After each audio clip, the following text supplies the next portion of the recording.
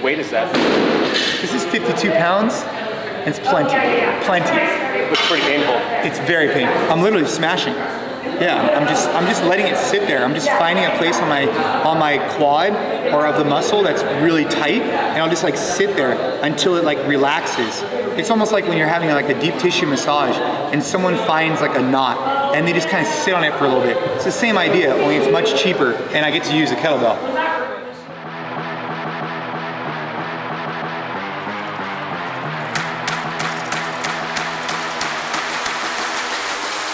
Booyah. There's not enough room for the both of us. Look, if you ever calling me, call me number one. one. Oops, I did it again, about to double up. Look, up here, definition of a leveled up. One. All my celebrations always been premeditated, always been a step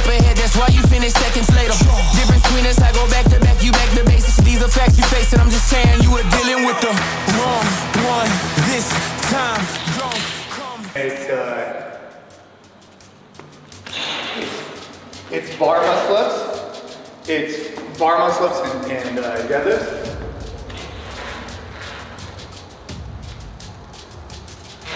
You know, a lot of people don't think about if uh, when I get fatigued on bar muscle ups, I like- I like to jump into it. I don't do bar muscle ups very often, so I think I'm gonna do them today. Like take for example this bar. This is like perfect. So when you're doing a kipping pull up or a bar muscle up, this is a good height because you want it to be high enough where your feet don't drag, but not so high that you have to jump super far. And so this is a good height for me, in my opinion. But what I like to do when I get tired, in particular, with either chest to bars or bar muscle ups, is I like to jump into it. So instead of being underneath and going for my first bar muscle up, I'll be a little bit back, and then I'll jump into the position, almost like a glide kip, if people know what that is. So it's here, right? And that positions you your, let's just say I was tired. I would just do that. I would do one, do one, do one, and then if I was feeling good, obviously I'd do more, but when you're tired and fatigued, I like to think about jumping in towards the bar. Helps me out. One bar muscle up, two,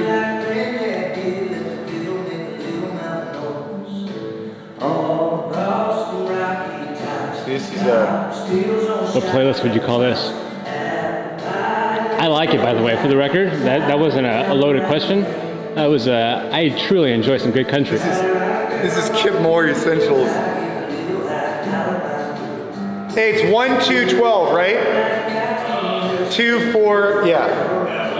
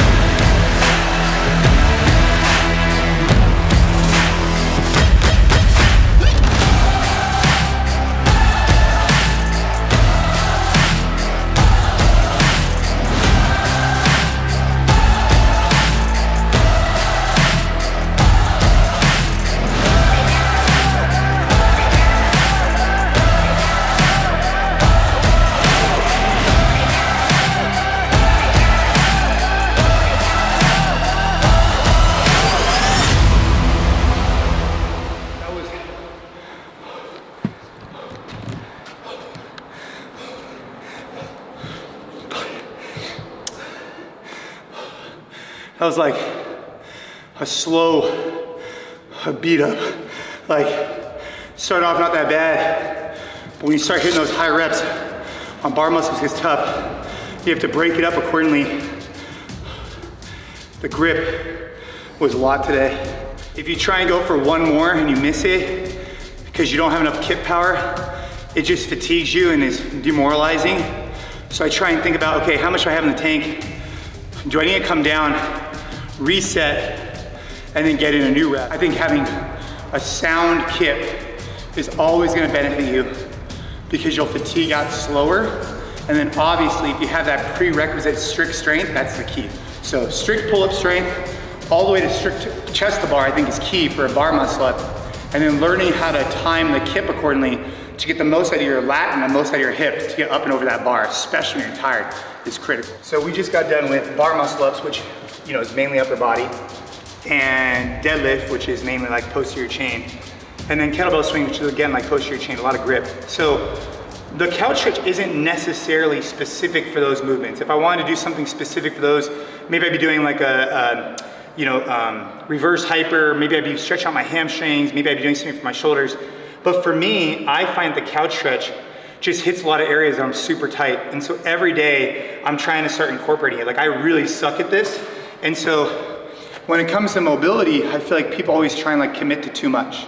So right now, the only thing I'm committing to is I'm trying to do the couch stretch every day for about 30 seconds each side for about three to four rounds. That's it. And anytime I try and commit to more, right, I never end up accomplishing the task. And so right now, I find the couch stretch gives me a great quad stretch, a great hip stretch, and I suck at it so much. I think it's really gonna help like knee pain, back issues. I think it's gonna be, I know it's gonna pay off. People come in this gym all the time. I wanna lose 100 pounds. I'm gonna come in every day. I'm gonna eat perfect. And they stay for like a month and then they're gone. And I think the key is consistency. And the key is like knowing where you're at. Like with me, with mobility, like I've known the benefits for 20 years but I've never really been consistent with it. Yeah, I'll do it, but I normally only do it once I have some type of pain. And so what I'm trying to get ahead of is before I have any type of pain, how do I start incorporating this type of stuff to alleviate ever even getting it? Um, and you gotta start slow, you know, because we don't wanna burn out. Dude, you gotta put money in the piggy bank. You know, for me, uh, I look at fitness kind of like I look at like uh, savings account and uh, retirement fund.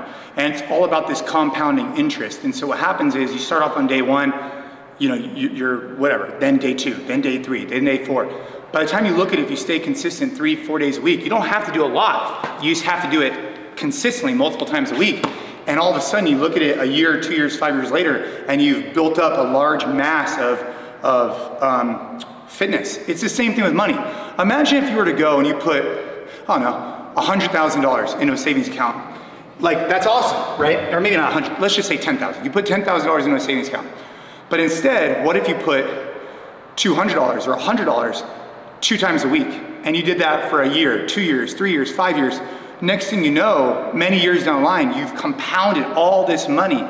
Um, that's the key. So it's not about coming in here and hitting it super hard for one day. It's about coming in and hitting it well many days. Booyah.